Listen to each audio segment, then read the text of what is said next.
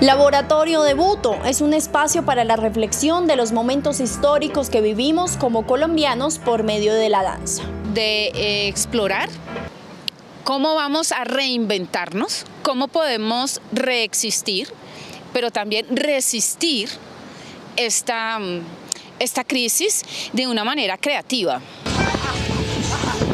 La corporación Manusdea quiere llevar y presentar la danza buto a todos los ciudadanos, por lo que el próximo 15 de julio hará uno de sus performances en el Cerro de Guadalupe. Haciendo un performance que se llama El Efecto Mariposa, entre 11 y 12 del día estaremos allí. La danza buto es un espacio para generar cambios por medio del baile.